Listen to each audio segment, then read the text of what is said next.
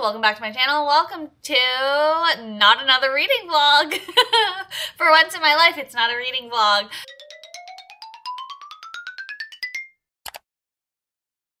It's actually a bit of a different video. I haven't done this before, but if you know anything about me, when I am not reading books, I am often reading Reddit. Um, and if I'm not reading Reddit, um, some of my favorite like videos and podcasts to listen to are just people reading Reddit stories and Reddit posts, especially from Am I the Asshole? Um, and I just love it. It's just like such an entertaining time. and so I thought I would just like read some bookish related Am I the asshole posts and we could like chat about these together. I don't know. Like I, I I don't know where I'm going with this video. I just thought this would be a fun video to do because I was watching a bunch of like am I the asshole like reaction videos. Um and I was like I wonder how many like bookish related ones are on there cuz I know I've seen a couple come through um on Twitter, but like I feel like I don't hear a lot of them on like these other people's like videos and stuff. So I just wanted to take a look. Um, and I don't know. We'll see. I haven't actually read any of these stories. All I've done is like I've done a search and I've only read like the titles of them and I've vaguely based on the title um like saved these posts so that we could like discuss them together. Okay, so the first one is Am I the asshole for saying that people are allowed opinions and you need thick skin to be a writer? Okay, straight off the bat, yes. I feel like there's so much discourse always, always, especially on Twitter about like reviews being for readers and not for authors and like authors being very offended over like four star reviews even though those are great reviews. Um basically anything other than a five. And obviously like there's like a two-way street right? Like if you're writing a shit review about something like don't tag the author don't like bring it to their attention or anything.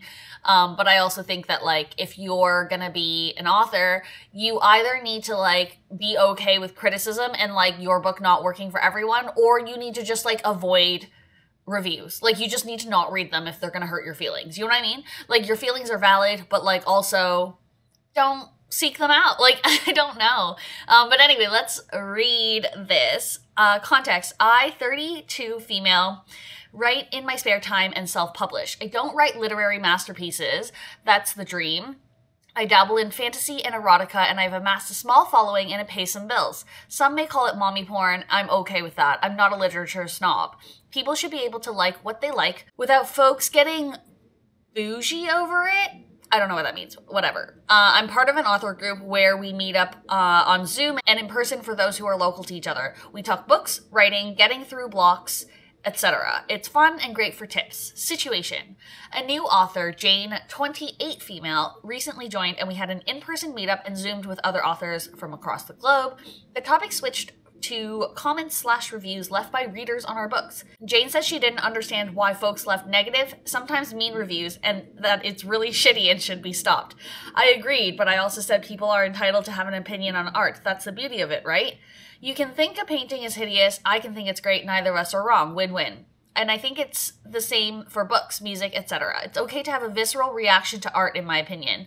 It's serving its purpose and provoking you either way. But she was relentless in that people should be kinder and not leave comments like this book was awful, such a waste of money, etc. She wouldn't drop it. So I said, Look, have I had some comments saying my book is shitty? Yes. Does it hurt? Yes. But I'm the one putting my work out there, and if folks pay for it, they're entitled to judge it and share that opinion. I can't police their opinions, even the harsh ones. She got mad, flipped the script, and said that I was basically condoning hate speech.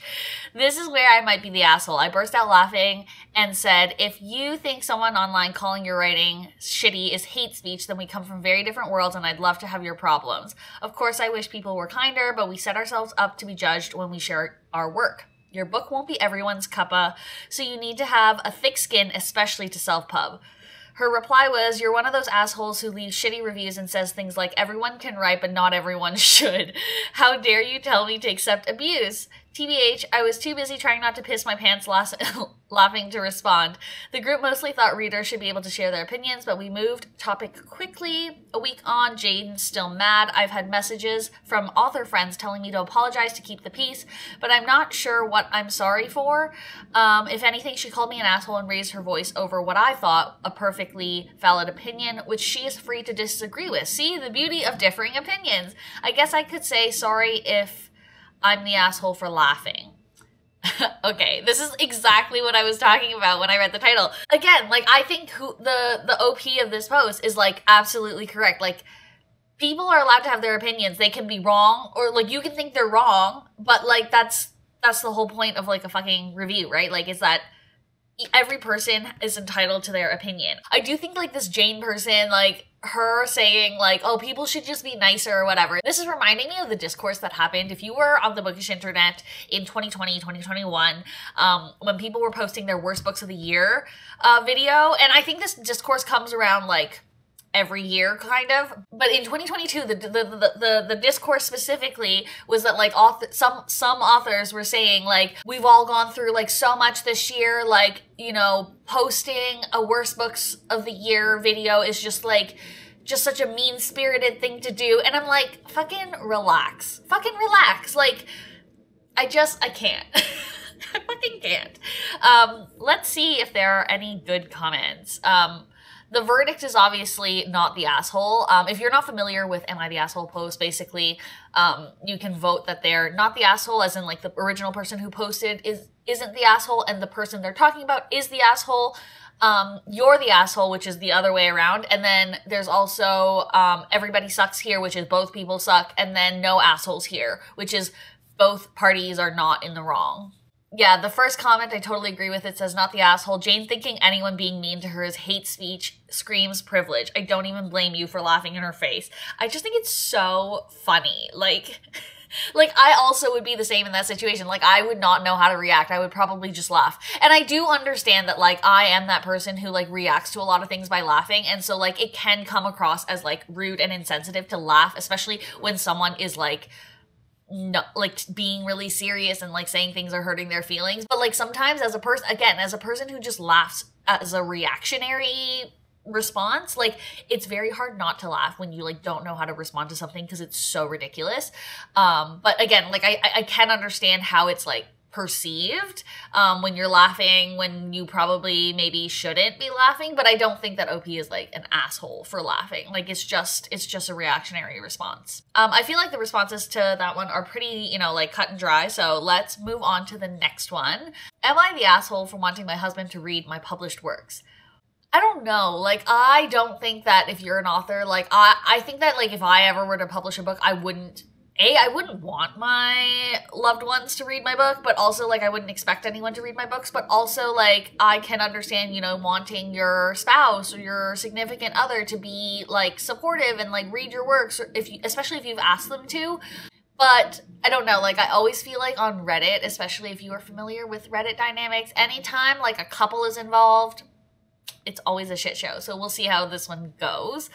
My husband is a wonderful and supportive man, but he says he does not want to read the books I've published because he doesn't want to hurt my feelings if he doesn't like them.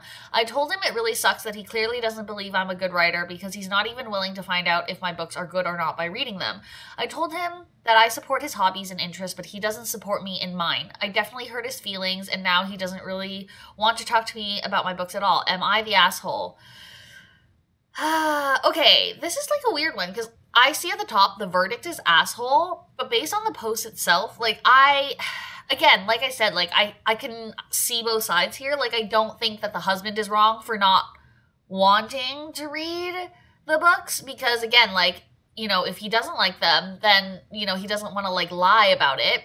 But also I can see how she feels a little hurt cuz she's like I just want you to, you know, partake in this a little bit. So like I can I don't know. I I I, based on just the post itself, would say no assholes here, but let's see if there's any comments from OP.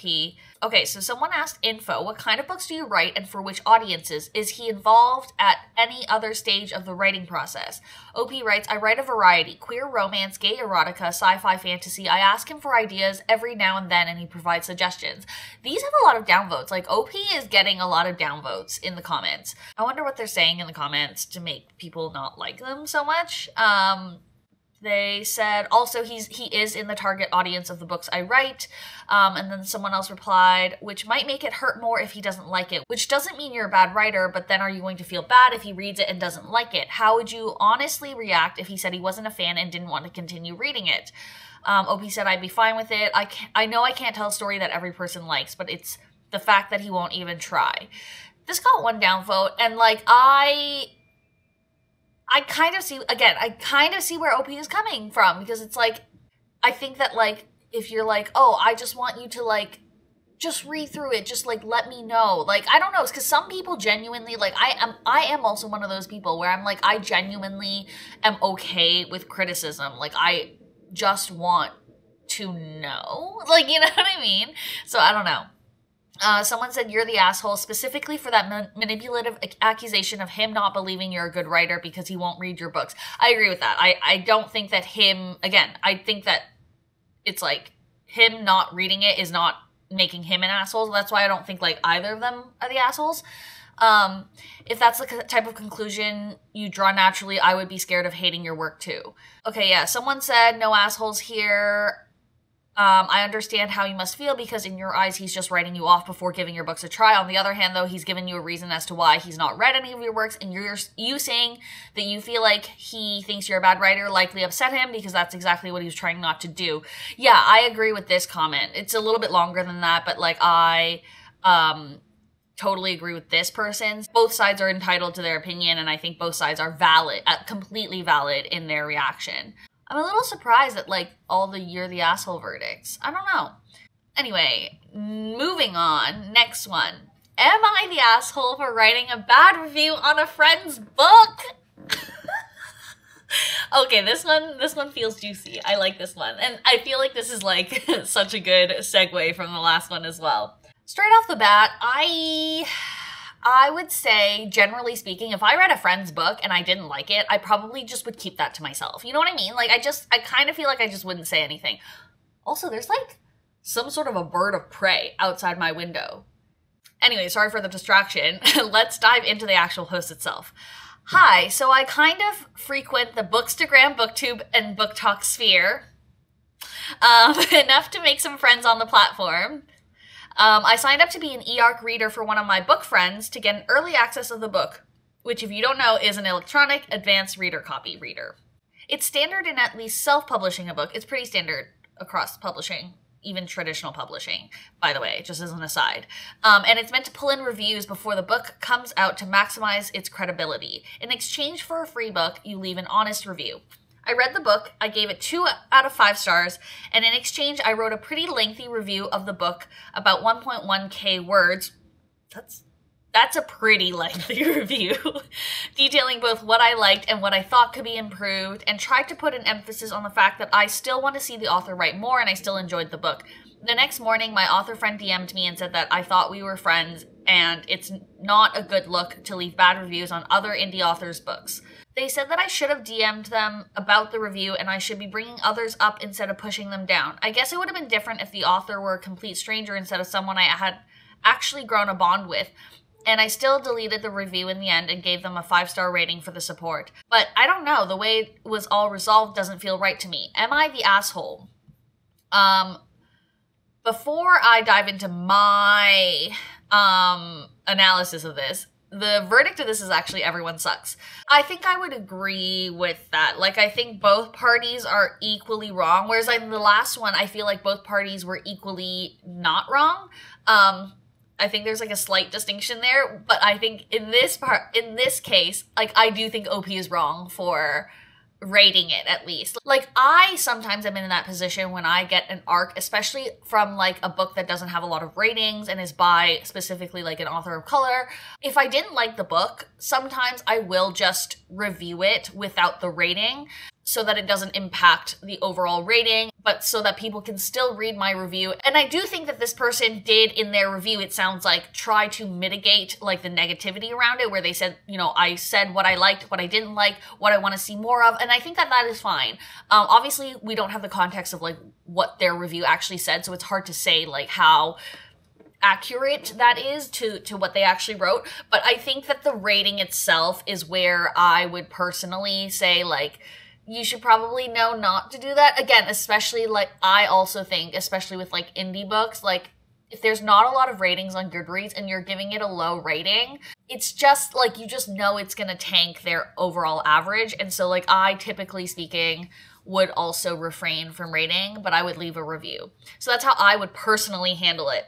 And I do think the author friend is valid in saying, like, if they're friends, like they should have just DM'd them beforehand and said, like, hey, just a heads up, I am posting my review today. It's not like the most positive review, so like just avoid looking at it kind of thing. I don't know, like ah, I don't know. I'm trying to think cuz like I have had situations where like I'm mutuals with an author on like Twitter or whatever.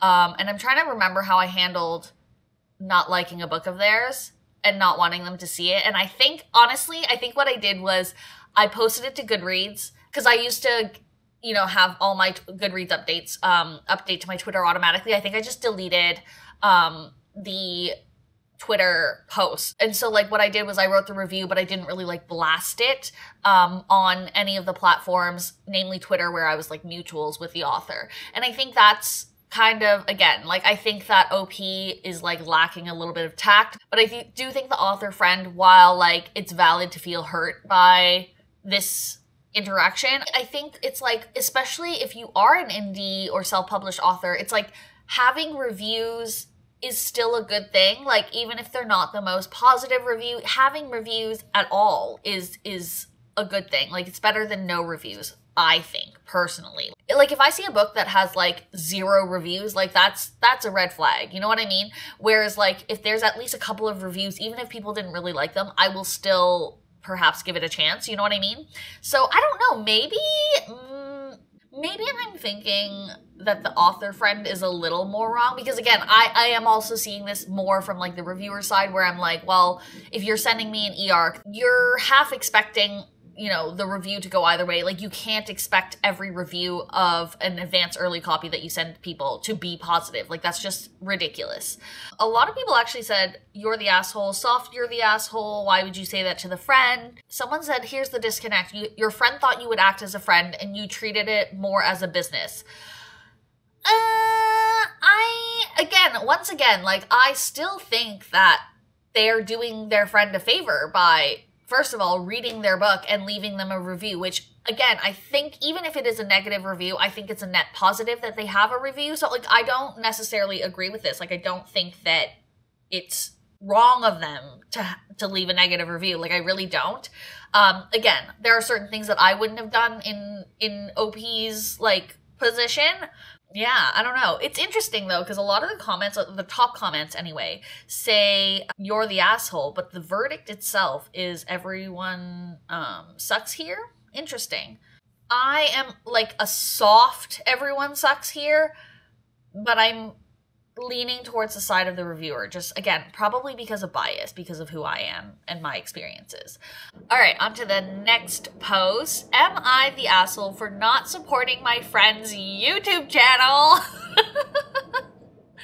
I am gonna say no off the top of the post i don't know. We'll see. Um okay my friend recently started a YouTube channel, which is great. The rest of my friends in our group have been actively watching her videos, liking them, and commenting on them, which is also great. I myself have subscribed to her, but her type of videos simply do not interest me. I have watched a few of her videos but stopped. My other friends started bashing on me how I didn't comment and give her a like on her videos. They said I wasn't supportive of her. I told them her videos didn't interest me and they accused me of saying my friend was a bad YouTuber, which I did not.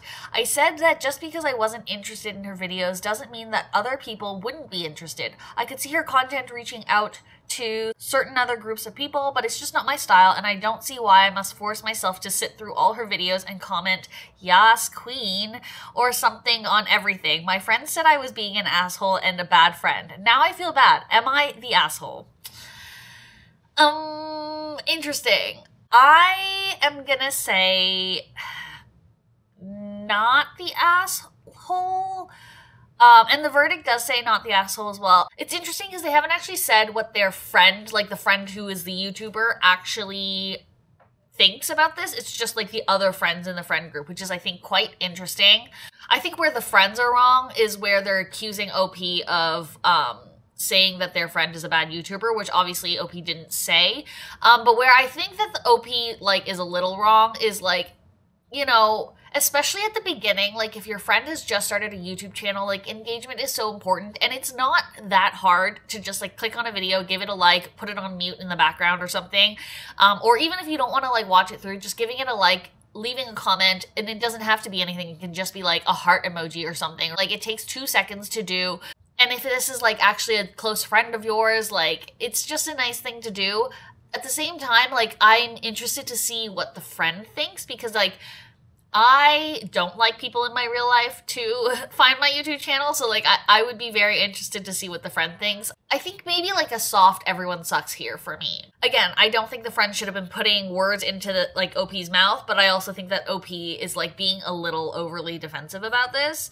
Um, and so I would say actually everyone sucks here. Softly. Okay, comments. Not the asshole. Your friends are definitely overreacting about it. What she's posting doesn't interest you, and that's okay. I had a friend who had a YouTube channel. His content didn't interest me either. You're not an asshole or a bad friend for not being interested in the content she posts.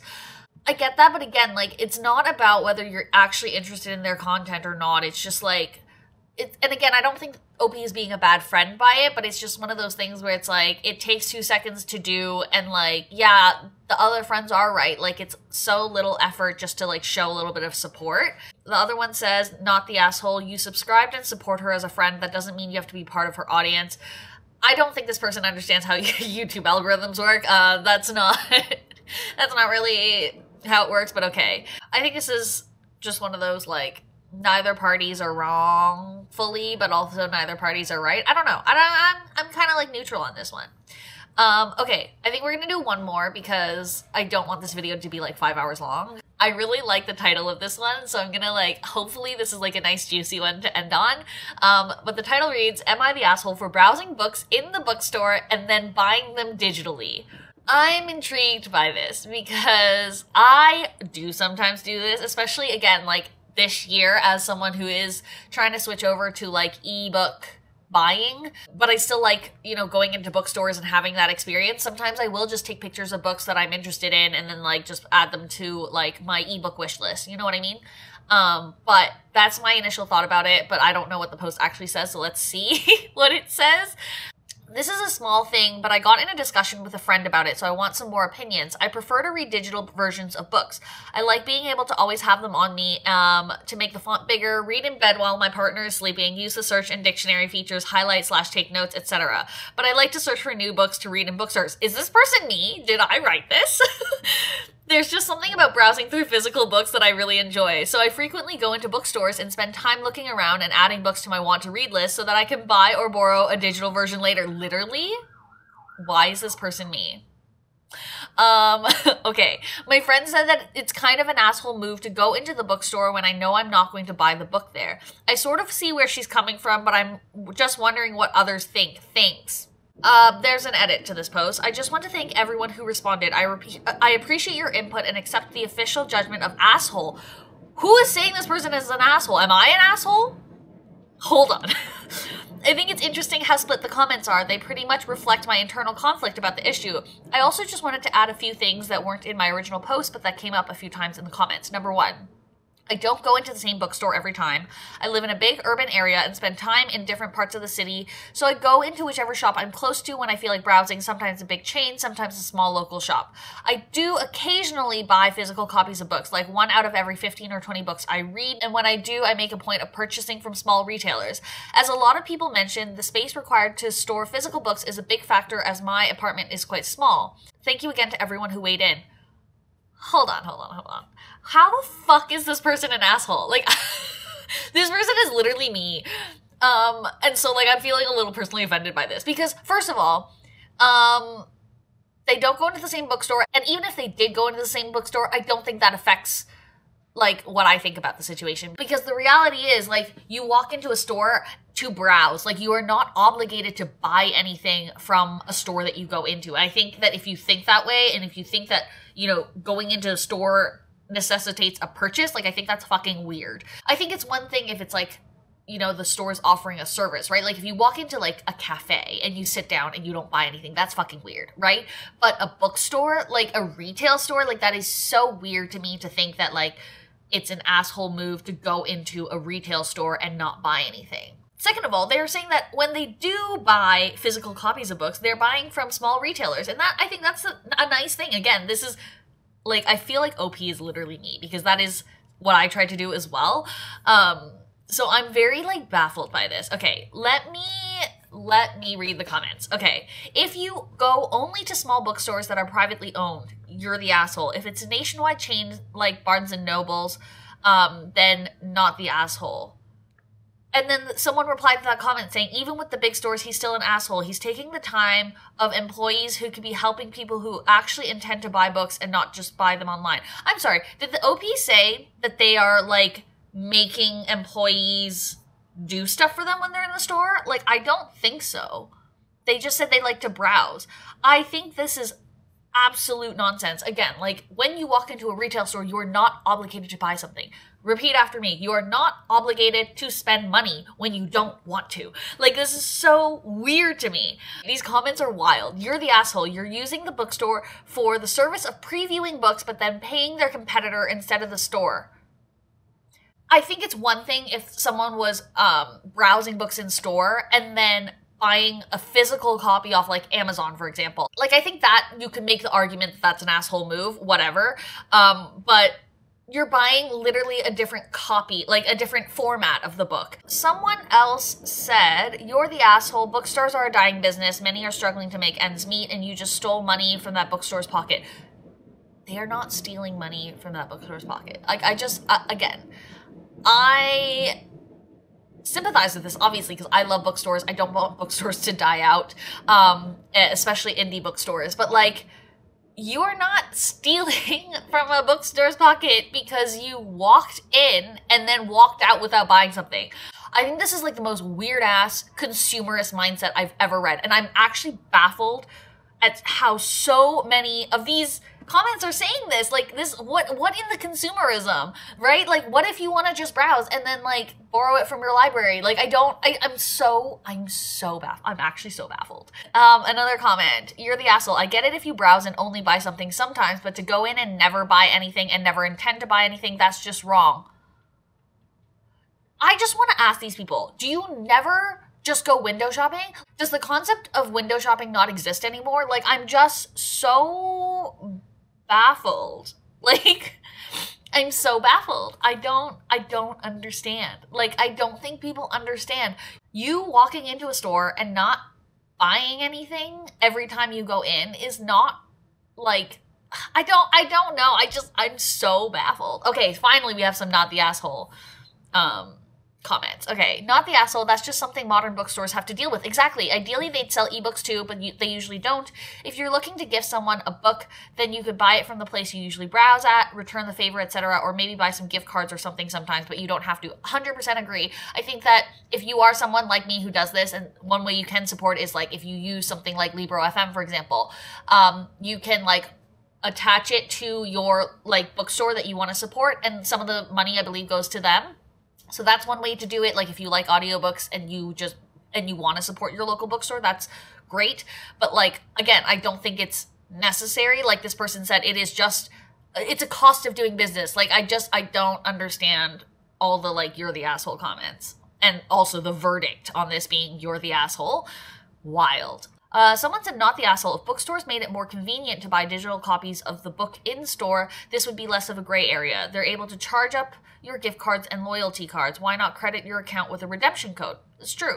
Um, I love bookstores, but simply don't have the space for books. My phone, in contrast, has a 900 title Kindle library and 50 gigs of space empty. I get it someone actually said this. This is actually so interesting, and I think this would be amazing, and I would personally love this. But they said they could put a QR code right on the book cover so that you could scan to buy the ebook. Super simple. I would actually think, I think this is genius, and I wish that people did that. Okay, this comment is interesting. Someone said it's called showrooming.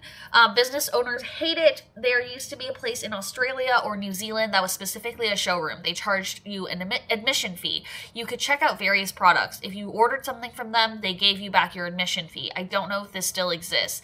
I'd have to say not the asshole because you're not doing anything wrong or illegal. Exactly.